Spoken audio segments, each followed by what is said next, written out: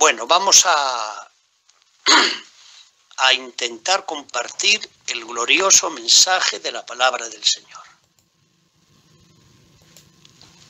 El tema es del Espíritu Santo, hermanos, y para ello quisiera leer, mm, gracias por estar ahí a cada uno de vosotros, hermanos, y que Dios siga obrando en ti y en mí el hambre y el deseo insaciable por Él, hermanos. Un abrazo, un abrazo para todos compañeros, todos creyentes, hombres, jóvenes y mujeres. Que Dios os bendiga mucho, mucho. Bueno, en San Juan, en el capítulo 14, el Señor Jesús está aquí eh, a punto de ir terminando su ministerio terrenal. Sabe que le queda muy poco y quiere enseñar verdades muy ricas, importantes, necesarias y fundamentales al equipo apostólico, que en ausencia de él ellos van a continuar la obra. Y les dice así en el verso 15, si me amáis, guardad mis mandamientos. Qué claro, qué corto, qué conciso, qué breve, como hablaba Jesús. Si me amáis, guardad mis mandamientos. Ese y dice, y yo, está hablando de sí mismo, rogaré al Padre y os dará otro consolador, C mayúscula, para que esté con vosotros para siempre. El Espíritu de verdad el mundo no puede recibir porque no le ve ni le conoce, pero vosotros le conocéis porque mora con vosotros y estará en vosotros. Verso 26, el consolador el Espíritu Santo, el Padre enviará en mi nombre y Él os enseñará todas las cosas y os recordará todo lo que yo os he dicho. Verso 26, capítulo 15, pero cuando venga el consolador, a quien yo os enviaré del Padre, el Espíritu de verdad, el cual procede del Padre, y ahora dice aquí uno de los ministerios entre otros importantísimos, fundamentales que el Espíritu Santo realiza en la vida del no salvo. Dice, Él dará testimonio acerca de mí. Como dijera Pablo, nadie puede llamar a Jesús Señor si no es por el Espíritu. La iluminación del Espíritu Santo que hizo en ti y en mí cuando no le conocíamos a Él. Gran labor, labor divina, queridos hermanos. Bueno, el equipo de los apóstoles hermanos tenía que estar bien informado acerca de verdades fundamentales como era el Espíritu Santo. El Espíritu Santo, hermanos, eh, era conocido, pero no de una manera muy amplia en el Antiguo Testamento. Por supuesto que había conocimiento acerca de él, pero no era muy amplia. ¿Y quién mejor podía hablar del Espíritu Santo que es Dios, tercera persona de la Divina Trinidad, que otro miembro de la misma Divina Trinidad que el mismo Cristo. Por eso les dice, me encanta el texto, y yo rogaré al Padre y os dará otro consolador. Mirar aquí las tres personas de la Divina Trinidad. Yo, Jesús, ruega, ora en su naturaleza humana, ¿a quién? Al Padre. Y dice, y os dará otro Consolador, C mayúscula, título divino, uno de los nombres, entre otros, que tiene el Espíritu Santo de Dios. Mientras estuvo Cristo en su ministerio terrenal, Él fue el otro consolador. ¿Qué les iba a faltar a los apóstoles estando el mismo Cristo que es Dios con los apóstoles? Todo estaba solucionado y arreglado y satisfecho y felices con Él.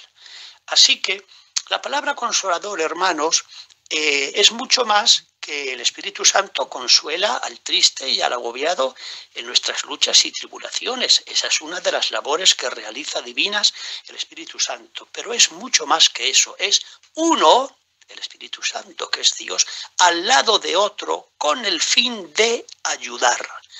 Así que es edificante saber que el Espíritu Santo está a tu lado y a mi lado, hermanos. Permitidme la frase notar que es santo uno de los títulos divinos que tiene santo hasta lo infinito. Oh hermanos, que ese ser tan maravilloso esté con nosotros, dispuesto en todo momento y tiempo a ayudarnos, hermanos a vasos frágiles y débiles como nosotros, que yo al final de la jornada pediré con pasión, comprensión y perdón por mis debilidades al Señor, es algo extraordinario, queridos hermanos. Así que eh, vamos a ir viendo cómo el Señor Jesús en San Juan da unos mensajes magistrales, únicos, verdades, hermanos, profundas, ricas, variadas, acerca del nuevo pastor que va a venir a la iglesia, el Espíritu Santo de Dios. El Espíritu Santo de Dios es el vicario de Cristo en la tierra. El mal catolicismo enseña que es el Papa. Qué error, qué mentira, qué engaño. Eh, es el Espíritu Santo, uno que viene en lugar de otros. Así que, hermanos, ¿quién será el Espíritu Santo que tanto elogia el mismo Cristo qué presentación le da, cómo habla de él, hermanos. Claro, es otro más de la Divina Trinidad. Así que quisiera eh, traer a memoria, hermanos, que la primera vez que se habla del Espíritu Santo es en el libro de Génesis, en el capítulo 1, verso 2. El verso 1 dice Dios como crea y en el verso 2 dice que el Espíritu de Dios se movía sobre la faz de las aguas. Eh, incubaba, hermanos. Miraba en el diccionario RAE, incubar quiere decir hacer que algo comience a desarrollarse antes de plena manifestación.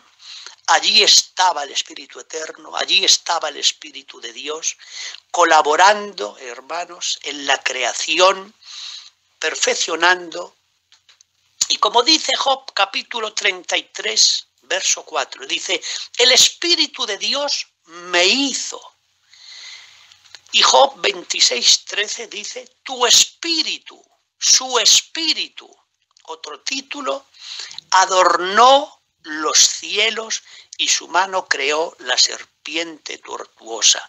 Aquí serpiente tortuosa, los que saben más que yo, dicen que si se refiere a constelaciones y a aspectos de la creación, hermanos. Así que ya notamos algo muy claro, convincente. Dios está creando, el Espíritu Santo está también creando, colaborando, incubando. Job lo trae a memoria la inspiración divina y dice, el Espíritu de Dios me hizo. Y después dice, el Espíritu, su Espíritu, adornó los cielos, su mano creó la serpiente tortuosa. Así que, hermanos, cada persona de la deidad, Padre, Hijo y Espíritu Santo, colaboraron, participaron en la creación de todas las cosas. Este es un título divino, queridos hermanos, que el Padre lo tiene, que Cristo lo tiene y el Espíritu Santo son creadores de todo lo visible e invisible. Claro, el Espíritu Santo es creador y entendemos que es una persona divina y por eso participó en la creación. Hay obras o trabajos que han sido hechos por el por Dios en las personas del Padre, del Hijo y del Espíritu Santo. Los tres han participado en la creación. Pero en otras ocasiones, cada uno de ellos trabaja en obras distintas, siempre en perfecta armonía. Una armonía que nosotros como humanos la ignoramos en qué plenitud y belleza, hermanos. Por ejemplo, permitidme que lea un texto sagrado el Padre, por ejemplo, dice, de tal manera amó Dios al mundo que ha dado. Aquí vemos que el Padre realiza el trabajo, el doloroso trabajo en su corazón y a su vez con gozo, que va a dar al Hijo. Nos va a dar al Hijo. Y el Hijo, la segunda persona, se encarna, el Hijo resucita, asciende a la derecha del Padre como el que ha cumplido la labor a la perfección y está en el cielo y estamos esperando que venga a por su iglesia. Ese trabajo lo hace el Hijo. Y el Espíritu Santo en Hechos 10:38, que es un pasaje extraordinario, el Espíritu Santo, el Padre da al Hijo, Jesús se humana, Cristo, ¿Y qué hace? ¿Qué hace el Espíritu Santo en esa labor de la redención? Dice, como Dios, Hechos 10:38, ungió con el Espíritu Santo y con poder a Jesús de Nazaret, la naturaleza humana. Y como éste, Jesús, anduvo haciendo bienes y sanando a todos los oprimidos por el diablo, porque Dios estaba con Jesús. Me encanta, hermanos, cómo en esta perfectísima armonía a veces hacen labores distintas, pero todos al fin y al cabo trabajan por la misma causa y por el mismo bien. Así que me encanta, queridos hermanos, cómo Jesús es ungido con el Espíritu Santo, hermanos. Dice, y con poder y cómo éste anduvo haciendo bienes y sanando a todos los oprimidos por el diablo, porque Dios estaba con él. Aquí otra vez más vemos a la divina Trinidad. Dios unge a Jesús con el Espíritu Santo. Ahí vemos las tres personas en acción, en movimiento, queridos hermanos. Así que, hermanos, Aquí vemos al Padre, a Cristo y al Espíritu Santo trabajando para el bien del mundo, trabajando en perfectísima armonía unos con otros.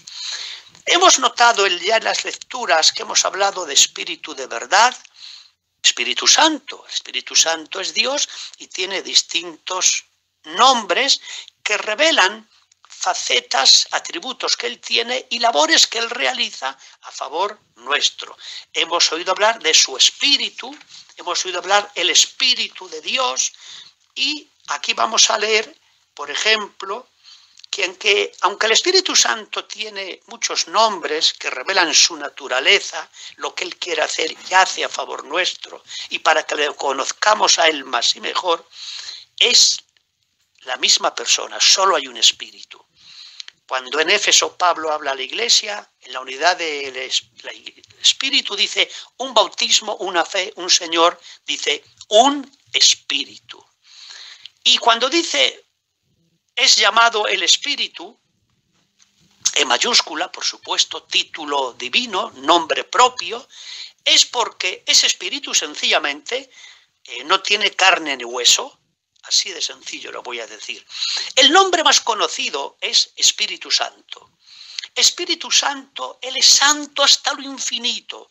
Mm, yo, hermanos, no puedo eh, entender esa frase, que Él es santo hasta lo infinito, hermanos. Y su deseo y su trabajo en los creyentes es que le permitamos que nos parezcamos más a Jesús.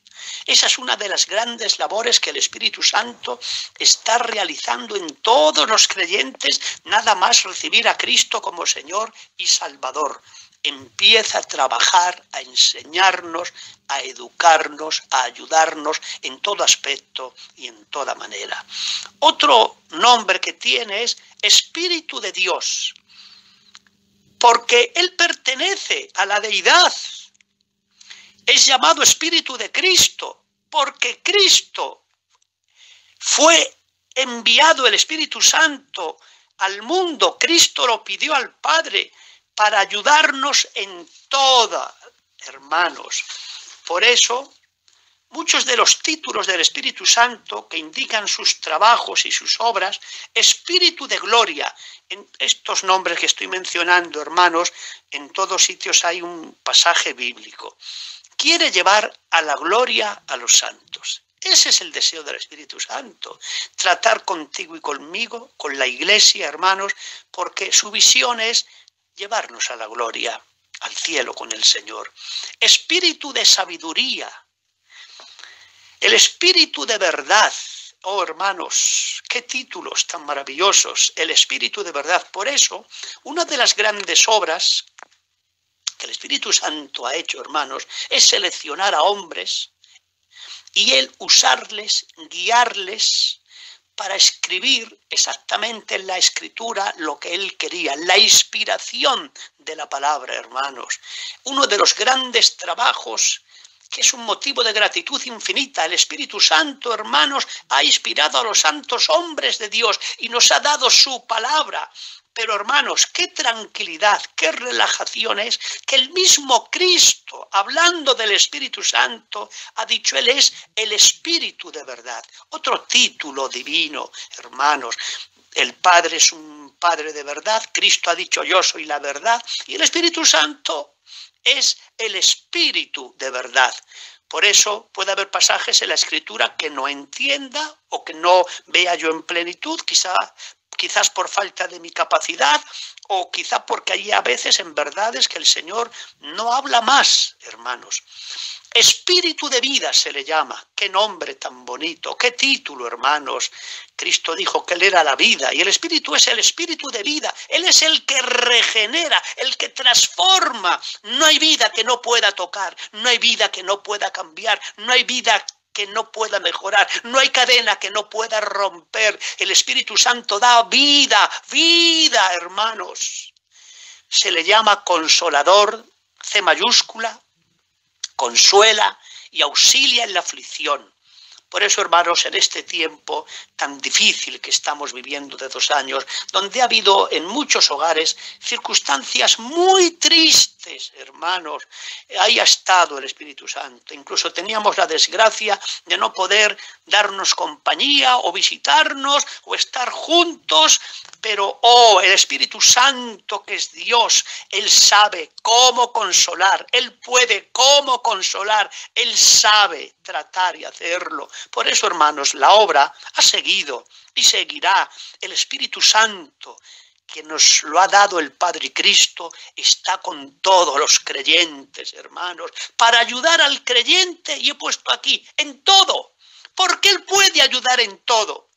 A veces yo que ahora estoy de pastor actualmente aquí en la iglesia, hermanos, eh, me reprocho que puedo hacer poco, que puedo ayudar poco, que estoy muy limitado, pero me consuela y me da luz el saber que donde yo no llego, el Espíritu Santo llega, que el Espíritu Santo toca, que el Espíritu Santo alcanza, que el Espíritu Santo bendice, ilumina, rompe todo lo que tiene el Padre, que es Dios, todo lo que tiene Cristo, que es Dios, también lo tiene el Espíritu Santo, porque el Espíritu Santo es Dios y tiene los mismos atributos de Dios. He puesto aquí atributos divinos que también el Padre y Cristo tienen.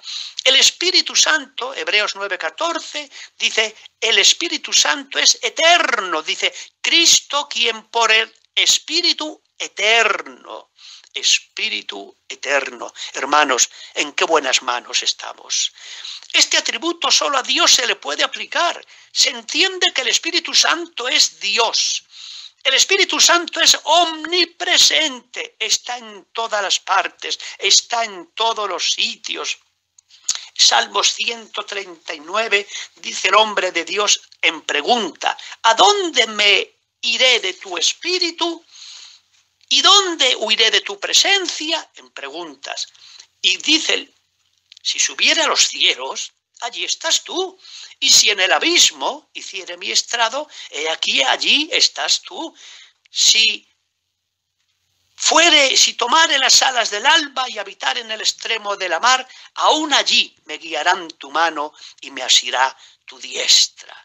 Hermanos, por eso Cristo llegó a decir, os conviene que yo me vaya. Aquella frase que dijo Cristo sonó muy fuerte y causó mucha tristeza al equipo apostólico, que le querían muchísimo, hermanos. En ese tiempo de tres años aproximadamente, le querían mucho, hermanos, perse a las incapacidades y torpezas que tenían los apóstoles. Ahora les dice que se va a ir, pero les dice, no os voy a dejar huérfanos, que va a orar y a pedirle al Padre que envíe otro consolador. Por eso, hermanos, les dijo, viene que yo me vaya. Queridísimos hermanos, Jesús es mitado a un sitio y si estaba en Campernaum no estaba en Galilea. Cuando le reprocharon a aquellas hermanas de Lázaro, si llegas a estar aquí, mi hermano no hubiera muerto. Jesús ama tanto a la obra, Jesús ama tanto a su iglesia, hermanos, que él mismo entiende que está terminando su ministerio, pero qué bien, qué dicha, viene otro en lugar de él, el vicario de Cristo, el Espíritu Santo, que tiene el señorío, la divinidad y la grandeza que él se va, pero en qué buenas manos queda la obra, queridos hermanos. El Espíritu Santo es omnisciente, es decir, sabe todo todo lo sabe, todo lo escudriña, aún lo profundo de Dios. Y dice el texto sagrado, nadie conoció las cosas de Dios, sino el Espíritu de Dios. Así que, hermanos, el Espíritu de Dios, hermanos, que conoce y escudriña lo profundo de Dios, dice el texto sagrado, para que nosotros entendamos y podamos apreciar y valorar, se adapta a nuestra capacidad y el Espíritu Santo nos hace ver cuánto ha dado a la Iglesia, cuánto tenemos los creyentes, hermanos. El Espíritu Santo tiene otro título divino que es es la verdad absoluta, total, completa, infalible. El Espíritu Santo es la verdad. Por eso, cuando tú lees la palabra y yo la leo, hermanos, oh, qué tranquilidad, qué bendición, qué gusto, qué gozo, la inspiración divina, ahí está, del Espíritu Santo. Cómo el mundo ha sido bendecido con este Espíritu de verdad que nos ha dado la palabra. Y dice también que el Espíritu es el que da testimonio porque el Espíritu es la verdad. Ese es uno, hermano, de los grandes trabajos del Espíritu Santo, tratar con el perdido, haciéndole ver su pecado, mostrarle los pecados de justicia, de juicio y convencerles, hermanos. Esa es una labor divina, queridos hermanos, que Él solo es capaz de hacerlo. El Espíritu Santo tiene atributos de Dios, porque Él es Dios, como es el Padre y como es Cristo, y nosotros le adoramos, le respetamos, le amamos, ¿Cuánto le necesitamos al Espíritu Santo, queridos hermanos? ¿Qué sería de nosotros sin Él? Y permitidme esta frase, ¿cuánto le debemos? ¿Cómo ha trabajado en ti y en mí desde que éramos inconversos? ¿Cómo ha trabajado? Satanás trabajaba para cegarnos el entendimiento, pero el Espíritu Santo no se quedó cruzado de brazos, trabajó con nosotros y en nosotros. Y desde entonces hasta hoy que han pasado no pocos años, sigue trabajando el Espíritu Santo en ti y en mí. He puesto aquí así de sencillo, ¿qué opina Cristo también del Espíritu Santo más? ¿Dónde le coloca? Y he puesto aquí Mateo 28, 19. Jesús les da un último mandamiento a los apóstoles después que ha resucitado y les dice, por tanto, id y haced discípulos a todas las naciones, bautizándolos en el nombre del Padre y del Hijo y del Espíritu Santo. Ay, hermanos, qué texto sagrado tan claro, tan convincente, queridos hermanos. Notar Jesús cómo coloca el Espíritu Santo junto al Padre y junto al Hijo. El Padre es el Padre, el Hijo es el Hijo y el Espíritu Santo es el Espíritu Santo. Les coloca en esa grandísima dignidad, queridos hermanos. Por eso nosotros le adoramos al Espíritu Santo, le adoramos y le deseamos, le necesitamos y le bendecimos y le decimos que siga teniendo paciencia en su trato contigo y conmigo, que si no aprendemos con facilidad, que tenga paciencia, que nos vuelva a decir, a recordar, a enseñar, hermanos. Quisiera deciros que el Espíritu Santo, hermanos, en el Antiguo Testamento, eh, su forma de obrar, de accionar, de trabajar, fue mucho, mucho más reducida que en la dispensación de la gracia y otros le llaman la dispensación del Espíritu. Dijimos que participó en la creación, el Espíritu de Dios se movía sobre la faz de las aguas. Miqueas, el profeta del Señor, hace una confesión y dice en capítulo 3, dice, yo estoy lleno de poder, de poder del Espíritu de Jehová. Zacarías 4:6 eh, dijo el Señor, no es con fuerza ni con ejército, sino con mi espíritu, ha dicho Jehová de los ejércitos. Notar, hermanos, qué texto a relieve, qué belleza de texto, no es con fuerza ni con ejército. Eh, eso a mí me arroja luz que hay cosas que no es por mis capacidades o habilidades, e incluso ni buenas intenciones, ni deseos, ni esfuerzos, ni luchas, que hay cosas que yo puedo hacer poquitas, fáciles y sencillas, y de vez en cuando, pero que el Espíritu Santo, el Espíritu puede hacer todo, porque Él es Dios, queridos hermanos.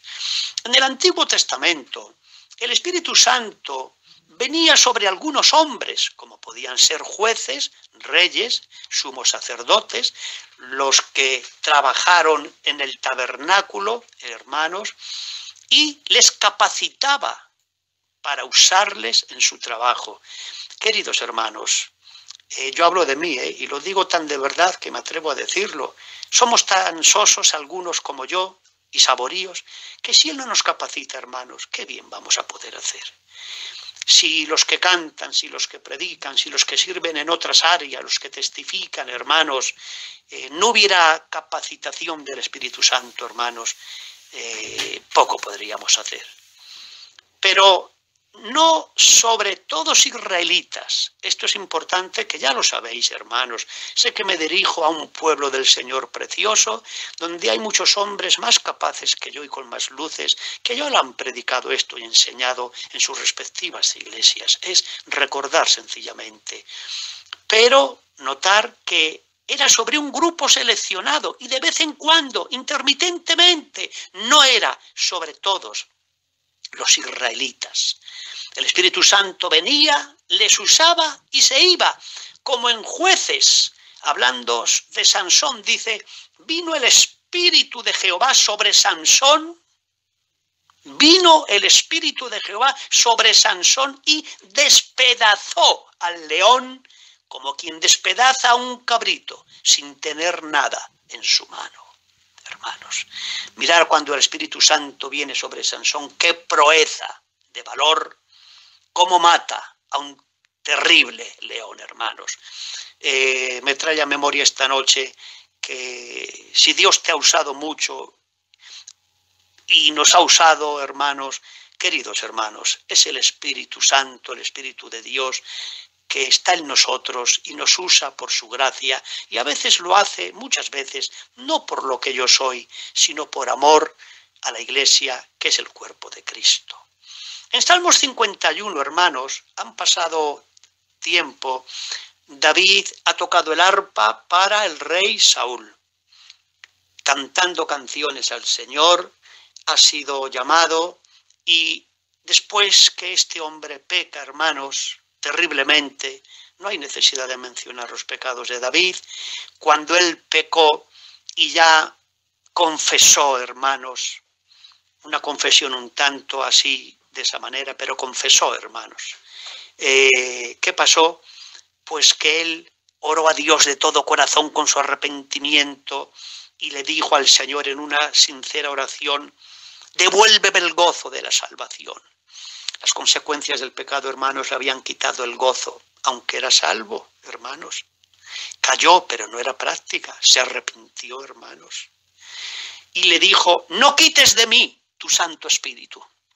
Dar David, hermanos, es edificante ver que eh, no le pide, no quites el reinado de mí.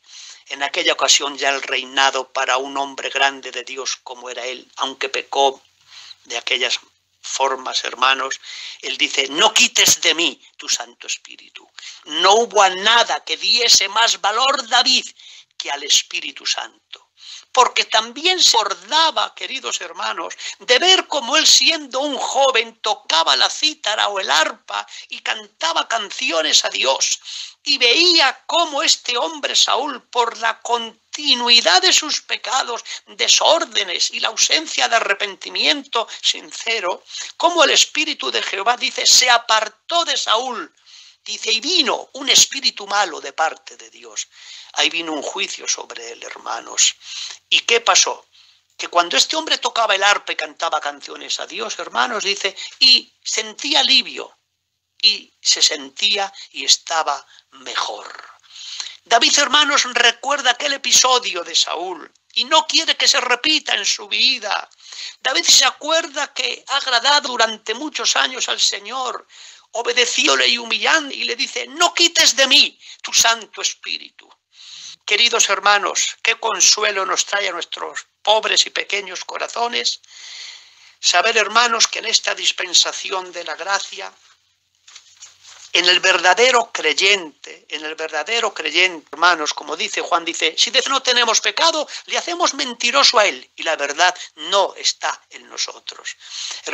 Una locura, un tropiezo grande, una caída fea, pública o no pública, hermanos, pero en el verdadero creyente que le amamos Espíritu Santo, vive en ti y en mí, ya no es con aquella dispensación del Antiguo Testamento, no se va, por eso Cristo dijo, mora en vosotros y estará en vosotros para siempre.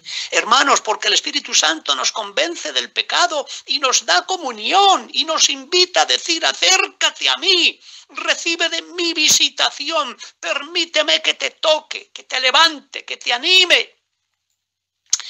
El creyente, hermanos, podemos pecar y podemos contristar al Espíritu Santo si no confesamos pecados conocidos que tenemos y que estamos practicando, hermanos. Se contrista al Espíritu Santo porque ya su título, Santo hasta lo infinito, ya es muy descriptivo, hermanos. O podemos apagar al Espíritu Santo y puede tener también relación con el movimiento de dones según tesalonicenses. Dice que no impidamos que se profetice, que se examine todo, que se haga todo decentemente y con orden. Podemos a veces apagar los dones, queridos hermanos, y son pecados que el creyente podemos realizar. La invitación es, sed llenos del Espíritu Santo, hermanos. Esa es la invitación del Espíritu Santo. Y no es que yo tenga más de Él. La llenura del Espíritu es que Él tenga más de mí, hermanos. Así que quisiera hacer ahora una pregunta tan sumamente fácil y sencilla. ¿Cuándo viene el Espíritu Santo a vivir o a morar en el creyente? Después que el Espíritu Santo trabajó en ti y en mí, hermanos y hemos quedado convencidos de pecado, de justicia y de juicio, nos ha iluminado, nos ha hecho entender que Jesús es el Señor, que es el que está con brazos abiertos llamando al perdido pecador, diciendo al que a mí viene de ningún modo, yo le he hecho fuera. ¿Cuándo viene el Espíritu Santo a morar en el creyente? Vino cuando conocimos al Señor en Juan 7:38, dice Cristo, el que cree en mí, como dice la escritura, no es a mi manera ni a la manera religiosa del catolicismo que nos enseñaron, hermanos. El que cree en Cristo, como dice la escritura, dice, esto dijo del Espíritu que habían de recibir los que creyesen en Él. Qué fácil nos lo pone el Señor, hermanos. Cuando tú has creído en Jesús, que es el Señor y el Cristo, el mediador, el camino, la verdad y la vida, el único Salvador, y te has arrepentido de tus pecados y yo de los míos, inmediatamente, hermano, que somos salvos, inmediatamente ha venido el Espíritu Santo de Dios a morar y a vivir en ti y en mí. No lo sabíamos, hermanos en aquellos años, al principio, no lo sabíamos porque eh, confesamos que teníamos mucho más menos luces que hoy, hermanos. Así que qué privilegio, qué bendición que en esta noche supongamos que hay alguien que no es creyente y hoy se arrepiente y hoy recibe a Cristo. Inmediatamente el mismo Espíritu Santo que vive en mí va a vivir en él y a morar en él. Por eso dijo Pablo en una epístola de Romanos, dice, si alguno no tiene el Espíritu de Cristo, no es de Cristo. La garantía de que tú eres salvo, la garantía de que tú eres de Dios, es que el Espíritu Santo vive y está en ti. Efesios 1.13 dice el apóstol, y habiendo creído en Cristo, fuisteis sellados con el Espíritu Santo de la promesa. Cuando Roma en el sepulcro selló, hermanos, selló el sepulcro de Jesús, como diciendo, es propiedad nuestra. Nadie toque aquí. El día que tú recibiste a Cristo, vino el Espíritu Santo a morar en ti y a vivir en ti y en mí. Y nota, hermanos, fuiste sellado. Eh, propiedad de Dios. Somos propiedad de Dios, queridos hermanos. Y, hermanos, quisiera deciros esto que lo sabéis perfectamente mejor que yo, hermanos. Hombres como Moisés, hombres como Elías, como Jeremías, como Isaías, como los patriarcas, grandes hombres de Dios que hubo, hermanos, no moraba en ellos el Espíritu Santo, porque el programa del Espíritu Santo en aquella dispensación no era ese. Y yo, hermanos, y tú, está al alcance, vive en nosotros.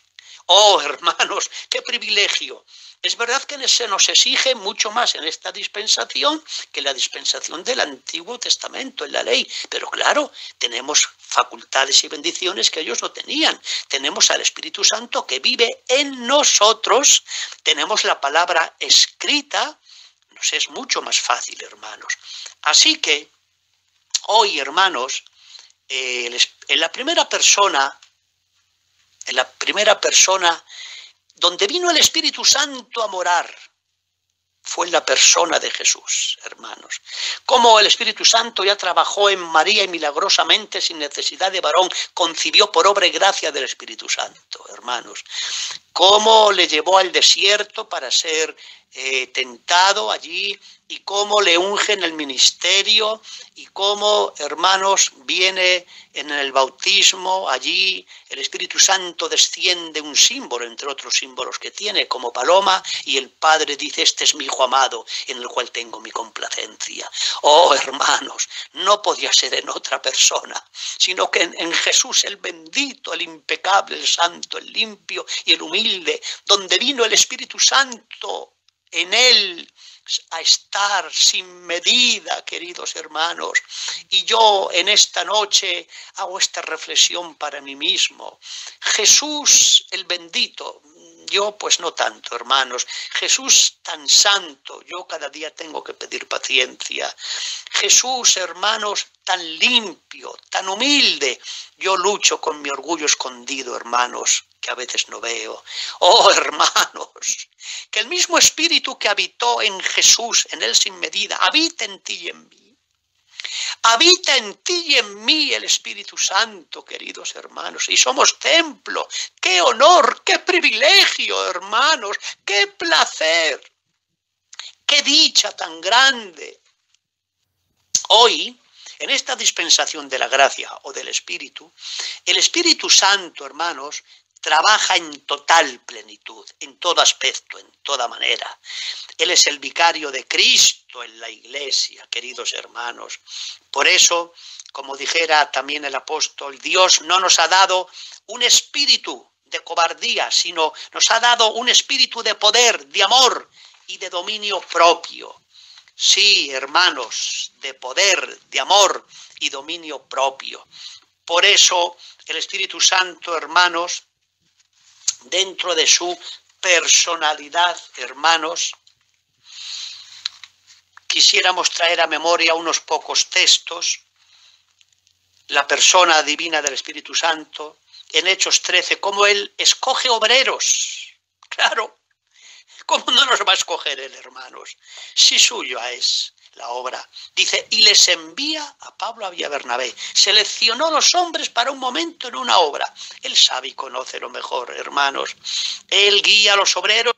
Hermanos, nos enseña cómo el Espíritu Santo ha fortalecido a los creyentes con poder para ser firmes, ha fortalecido a los creyentes para con las ropas negras alabar a Dios y adorarle. Un primo hermano de aquí, hermanos mío, que le conocéis, que se llama Chele, que él estuvo gravísimo a punto de morir y dejarle ya. Eh, su esposa, una bendición de hermana, partió con el Señor. Y él se enteró después de un largo mes que salió, eh, se enteró, no era el momento de decirle, él no sabía nada, creía que vivía su esposa y hermanos, en una de las ocasiones eh, nos llegó a decir que él aceptaba lo que Dios había hecho, que no se quejaba y decía, y le doy gracias a Dios que mi esposa está con el Señor. Hermanos, la capacidad humana no puede entender esto, la fortaleza humana no puede admitir esto. Hay tareas que son del Espíritu Santo y el Espíritu Santo, hermanos, fortalece a los creyentes con poder. El Espíritu Santo nos ayuda en la oración pidiendo como conviene. Dice que somos débiles para saber lo que nos conviene.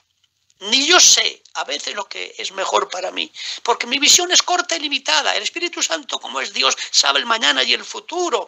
Y a veces, hermanos del Espíritu Santo, dedica tiempo a la oración para orar por ti y por mí. Déjame que te diga, hermano, mira el valor, la importancia, el afecto, el cariño, cómo te conoce y cuánto te quiere el Espíritu Santo, que ora por ti y por mí, pidiéndole al Padre lo que más nos conviene. Juan 16 dice que nos guía el Espíritu Santo. Oh hermanos, si no nos guiara, con lo fácil que es extraviarse en falsas doctrinas o caer en enseñanzas heréticas o tener dificultades, pero el Espíritu Santo nos guía y nos lleva toda la verdad. El Espíritu Santo santifica. Romanos 15, hermanos. El Espíritu Santo es el que rompe las cadenas, hermanos. El más vil pecador, del que ha caído en vicios, lo rompe las cadenas, cambia el corazón, obra un sentimiento que odie el pecado que antes amaba y ahora ame la santidad que antes no amaba. El Espíritu Santo es el profesor divino. Queridos hermanos, cuando yo os oigo a hermanos de vosotros predicar, que entiendo que no sois académicos ni habéis cursado grandes estudios en ni en colegios, y veo, os veo predicando, hermanos, oh Dios, con qué soltura, con qué gracia, de qué manera entiendo que ahí hay una obra divina del Espíritu Santo, profesor divino, que os ha enseñado y nos da gracia, queridos hermanos. Juan 14, 26, recuerda las palabras de Cristo. Lo que Cristo habló es tan importante, tan fundamental. A veces mi mente, que eh, tiene menos dosis de memoria que cuando era más jovencito, pero dice que nos recuerda las palabras de Cristo. Por eso a veces lees y crees que no se te queda nada. Y en cierta ocasión sale a tu mente un texto que pensabas que estaba olvidado. No, el Espíritu Santo te lo ha recordado. El Espíritu Santo da dones a cada uno en particular, como Él quiere. Y con esos dones equipara, cualifica para servir a Él, a la iglesia y ser de edificación. Escudriña todas las cosas, hermanos, corintios. Y queridos hermanos, para ir finalizando, eh, somos ricos, muy ricos, hermanos Estamos muy bendecidos. Estamos sumamente bendecidos. En el Antiguo Testamento los santos hombres no tuvieron este privilegio que hoy el más nuevo de los creyentes y el más débil de los salvos lo tiene y tú yo. Vive en ti y en mí el Espíritu Santo, hermanos. El mismo Espíritu que estuvo en Jesús está en ti y en mí. Oh, hermanos, qué gusto, qué placer, qué bendición, qué emoción, qué dicha. Hermanos, voy a ir finalizando ya. Adelante, adelante, adelante. Seguir luchando, seguir esforzándoos, hacer lo que podáis. No os exijáis y os reprochéis lo que no podáis hacer, hermanos, dejádselo al Espíritu, que no es con ejército ni con fuerza, es con mi Espíritu, ha dicho el Señor. Tú haz lo que puedas y yo también lo que pueda. Apreciado Robert, he terminado. ¿eh? Terminé diciendo que el Espíritu y la Iglesia dicen, ven Señor Jesús. Gracias por vuestra invitación, gracias, gracias y muchas gracias por vuestra atención. Un abrazo.